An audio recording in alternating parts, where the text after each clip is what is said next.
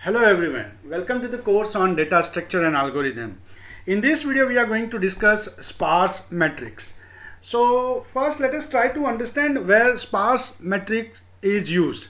So majority elements of sparse matrix are zero. Let's take an example. For example, we are you know reading uh, input uh, from let's say a sensor, right? Uh, every every second we are uh, reading inputs.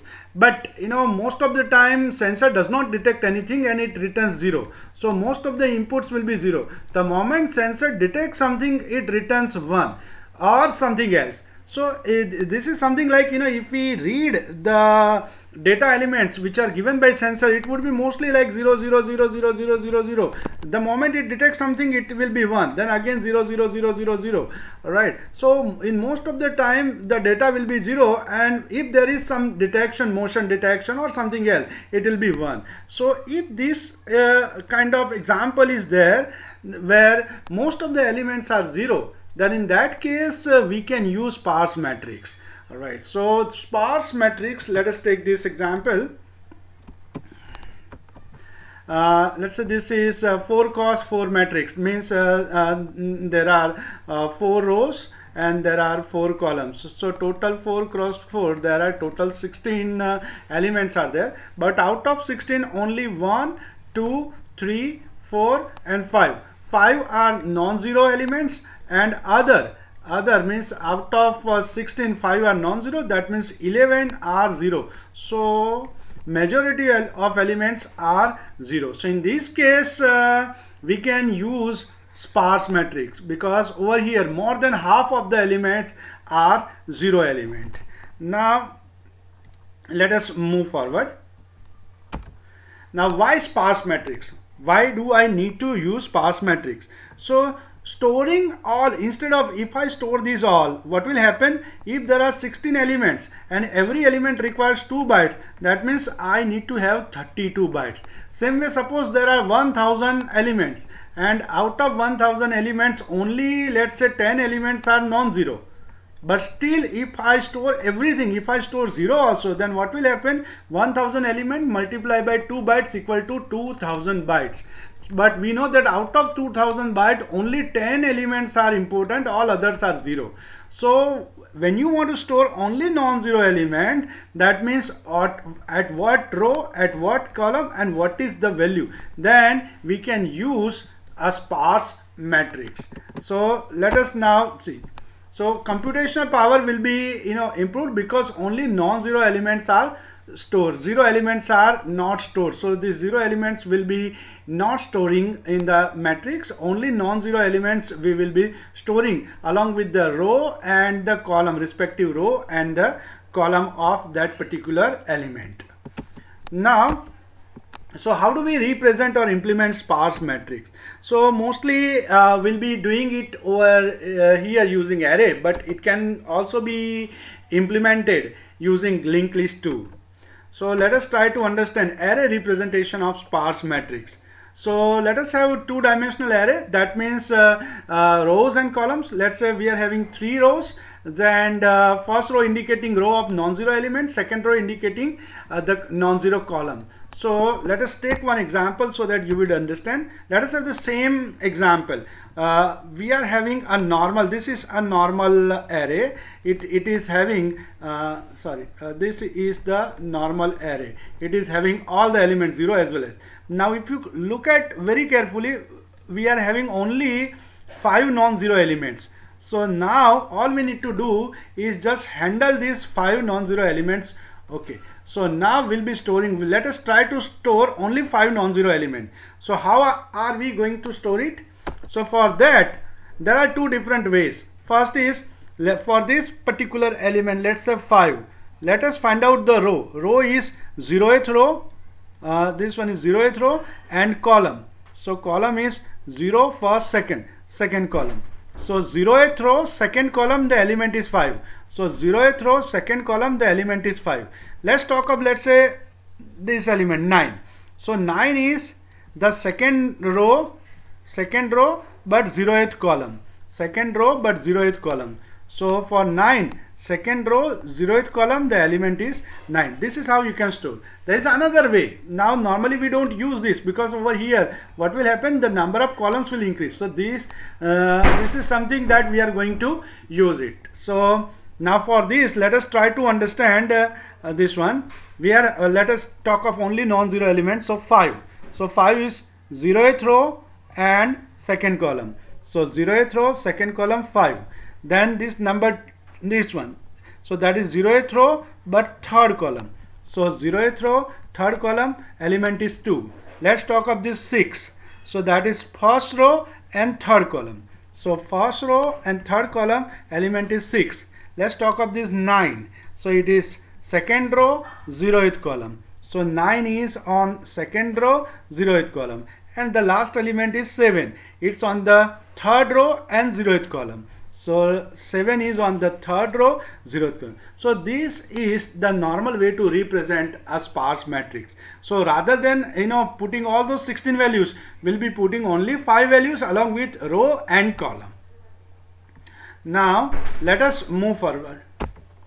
So let us talk of how are we going to implement or uh, using C programming. So let us write a small uh, C programming code to check whether the given matrix is sparse matrix or not. That means if more than half of the elements are 0, that is the sparse matrix. If it is a 4 cross 4 matrix, then 4 cross 4, that means total 16 elements. So if more than 8 elements are uh, 0, that means it is a sparse matrix. So all we need to check is this one. So let us write a small code, is sparse. So this is the function is sparse uh, wherein we are passing the array into this function and this function will return either if it is not sparse if it is not sparse then it will return if it is not sparse then it will return minus 1 but if it is sparse then it will return the number of 0 number of 0 for example, out of uh, 16, suppose in our previous case, uh, 11 were the total number of 0 elements. So it returns 11. So there are two different things that we are going to return. If it is not sparse, means if half of the elements are not uh, the 0 element, in that case it will return minus 1. That means it is not a sparse matrix. Otherwise, it will return the counter. Now, let us uh, go to the program. See, look at this program. We have defined rows equal to 4, column equal to 3. That means there are 4 rows. Look at this. Uh, 1, 2, 3 and 4. So there are 4 rows and let's say there are uh, 3 columns. So 1, 2 and 3. Alright. And we are going to put something over here 0, 5, 0. So this is my first row 0, 5, 0.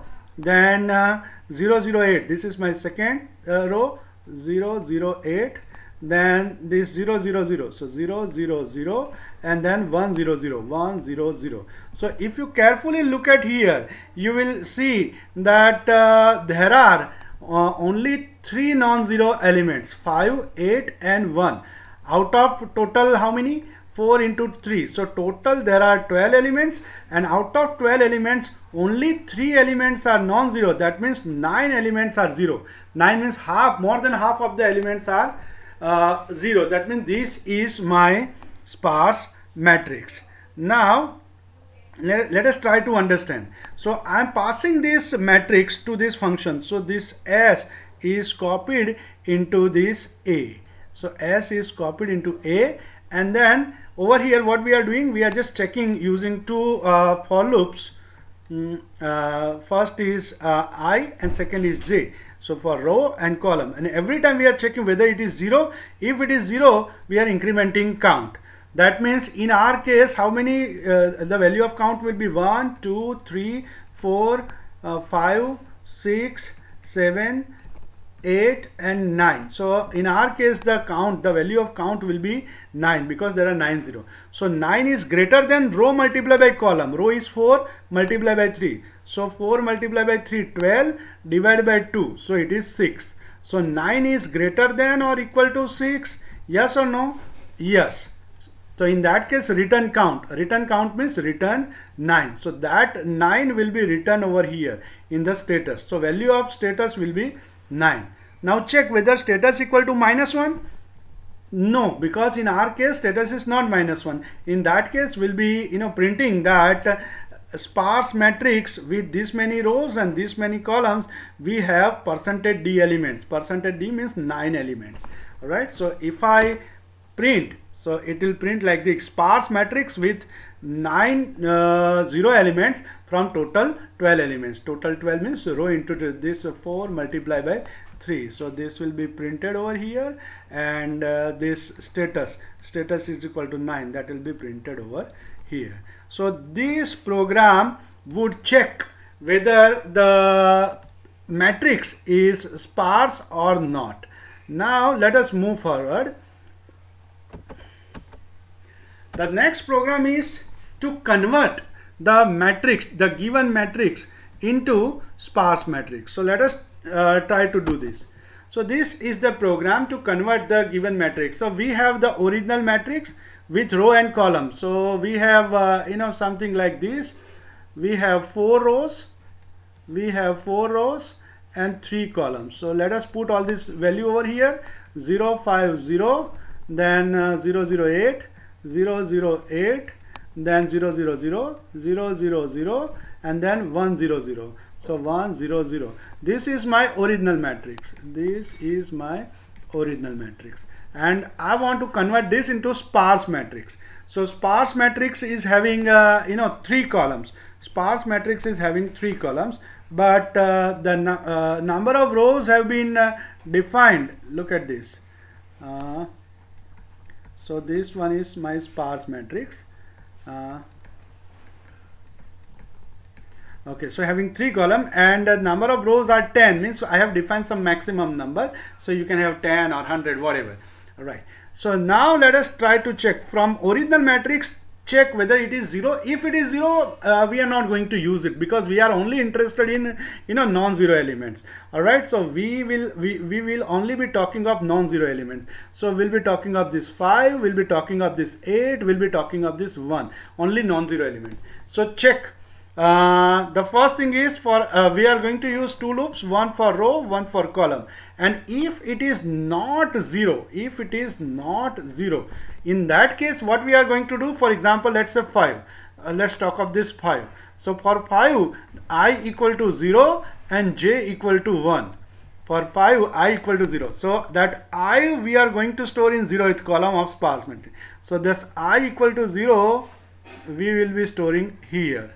Now that j will be storing in first column. So that j equal to 1 will be storing over here 1 and the element the element that means the 5 itself that we are going to store in second column. So that 5 will be storing over here. So 0th row first column and 5 likewise for 8 it is first row and second column. So first row second column 8 Likewise for this 1, so 0, 1, 2, 3. So third row but 0th column. So third row but 0th column and the element is 1. So this is how it is going to be stored and every time I am keeping one counter just to make sure how many elements are over here. So that counter will be 3 because 3 rows have been added and at the end I am going to run one loop for count time that means for 3 times and I'll be printing 0, 1, 5, 1, 2, 8 and 3, 0, 1.